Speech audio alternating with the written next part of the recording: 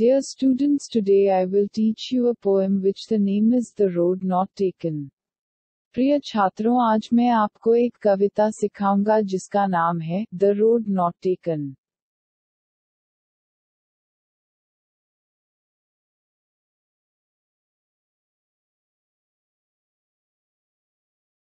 so let's begin The Road Not Taken Part 2 Thinking about the Poem Thinking about the poem कविता के बारे में सोचकर I. Question 1 Where does the traveler find himself? What problem does he face? Question 1 यात्री खुद को कहाँ पाता है उसे क्या समस्या आती है Answer The traveler finds himself in the yellow woods at a point where the road forks into two. Answer यात्री खुद को पीली जंगल में एक बिंदु पर पाता है जहां सड़क दो में मिलती है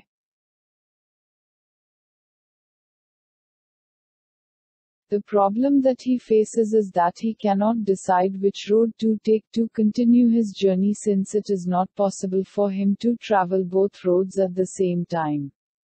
वह जो समस्या है, वह यह है कि वह अपनी यात्रा जारी रखने के लिए यह तय नहीं कर सकती है कि एक ही समय में दोनों सड़कों की यात्रा करना उसके लिए संभव नहीं है।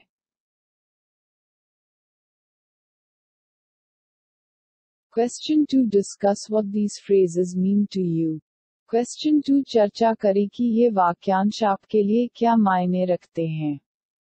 आई ए येलो वुड आई एक पीली लकड़ी ई it was grassy and wanted wear ई यह घास वाला था और इसे पहनना चाहिए था. ई द पासिंग दे ई उधर से गुजरना. If leaves no step had trodden black if कोई भी कदम नहीं पड़ा है. We how way leads on to way we किस तरह से मार्ग प्रशस्त होता है? Answer 1. Yellow wood symbolizes the autumn season. Autumn corresponds with old age. The poet could be symbolically talking about the later stages of life. Answer एक पीलीवुड शरद ऋतु के मौसम का प्रतीक है शरद ऋतु बुढ़ापे के साथ मेल खाती है कवि प्रतीकात्मक रूप से जीवन के बाद के चरणों के बारे में बात कर सकता है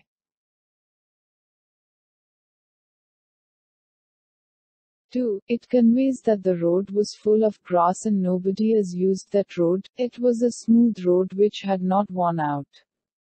तो यह बताता है कि सड़क घास से भरी थी और कोई भी उस सड़क का उपयोग नहीं करता था यह एक चिकनी सड़क थी जो खराब नहीं हुई थी 3. The use of the path by passes by. 3. राहगीरों द्वारा पथ का उपयोग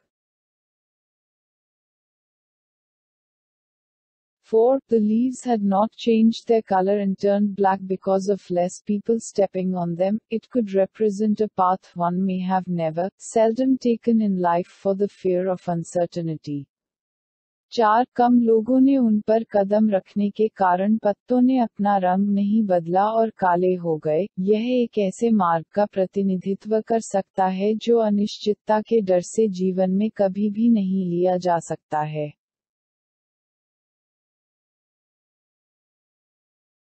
5. This phrase means how certain decisions one makes in life could pave the way for many other decisions. पांच इस वाक्यांश का अर्थ है कि जीवन में कुछ निर्णय लेने वाले कई अन्य निर्णयों का मार्ग प्रशस्त कर सकते हैं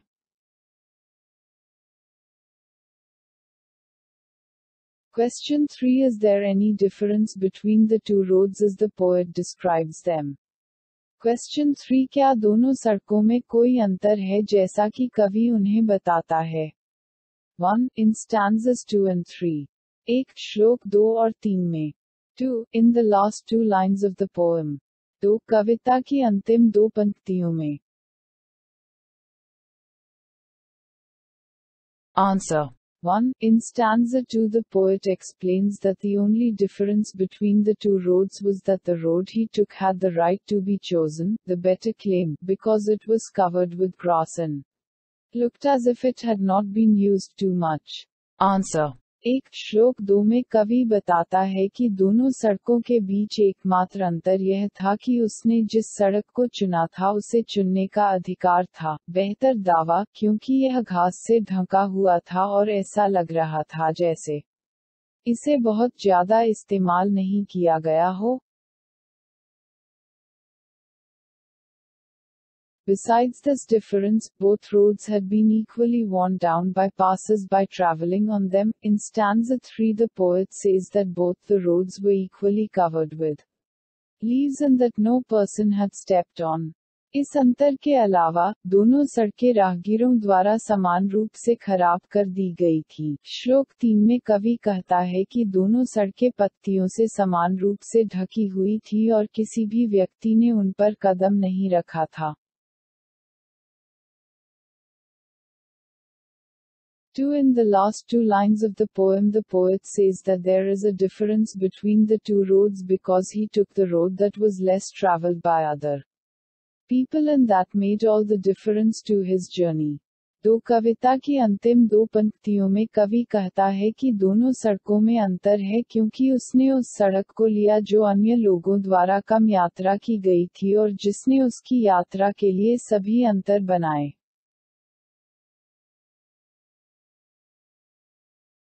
Question 4. What do you think the last two lines of the poem mean? Looking back, does the poet regret his choice or accept it?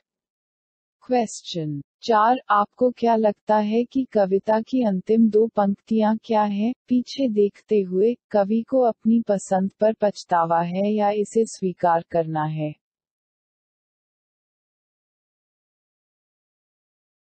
Answer The last two lines of the poem mean the acceptance of reality. The poet made a choice and accepted the challenging path.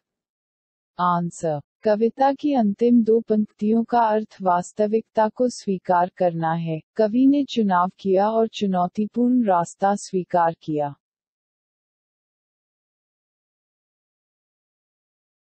He took an unexplored path in his life, he wanted to do something different in his life so he chooses the less traveled road, no he does not regret his choice. उन्होंने अपने जीवन में एक अस्पष्ट रास्ता अपनाया वह अपने जीवन में कुछ अलग करना चाहता था इसलिए वह कम यात्रा करने वाली सड़क चुनता है नहीं उसे अपनी पसंद पर पछतावा नहीं है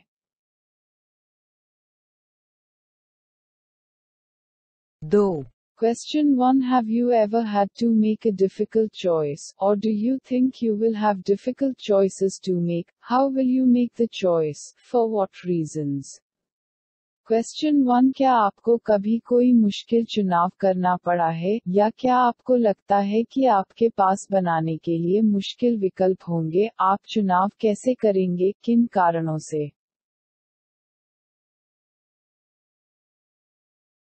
Answer 1. No, till now I have never been in a situation in which I had to make a difficult choice. Perhaps I am still too young to make an independent choice, yes.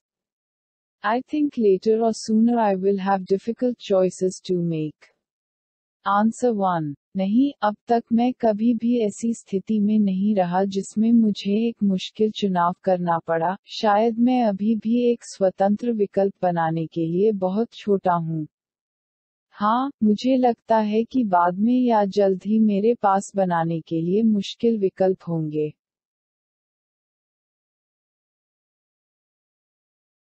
After completing my general education, I will have to make choice of profession whether I should become an engineer or doctor or something else. अपनी सामान्य शिक्षा पूरी करने के बाद मुझे पेशे का चुनाव करना होगा चाहे मैं इंजीनियर बनूं या डॉक्टर या कुछ और I will have hundreds of options before me. मेरे सामने मेरे पास सैकड़ों विकल्प होंगे then it will be difficult to make a choice in between them. I will make choice according to my capabilities and strong points at that time. फिर उनके बीच चुनाव करना मुश्किल होगा मैं उस समय अपनी क्षमताओं और मजबूत बिंदुओं के अनुसार चुनाव करूंगा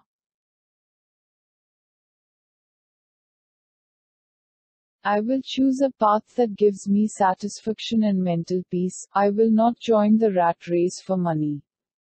मैं एक ऐसा रास्ता चुनूँगा जो मुझे संतुष्टि और मानसिक शांति दे। मैं पैसे के लिए चूहा दौड़ में शामिल नहीं होऊँगा। Like the poet in poem, I will choose a challenging and unexplored path in my life. कविता में कवि की तरह मैं अपने जीवन में एक चुनौतीपूर्ण और अस्पष्टीकृत रास्ता चुनूँगा।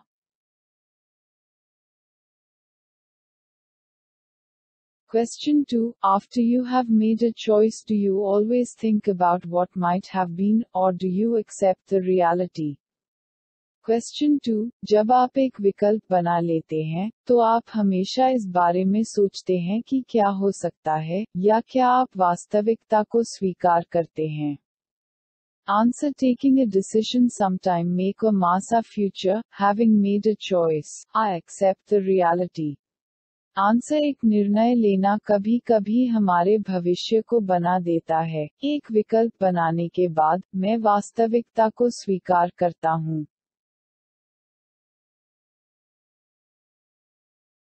Reconsidering a decision or contemplating over it is not a positive approach towards life. किसी निर्णय पर विचार करना या उस पर विचार करना जीवन के प्रति सकारात्मक दृष्टिकोण नहीं है। Such thoughts never allow us to be happy with what we have gained from our decision. इस तरह के विचार हमें कभी भी खुश नहीं होने देते हैं जो हमने अपने निर्णय से प्राप्त किया है Therefore, I believe in sticking to my decisions. इसलिए मैं अपने निर्णयों पर अडिग हूँ I hope you're learning well. Have you nice day.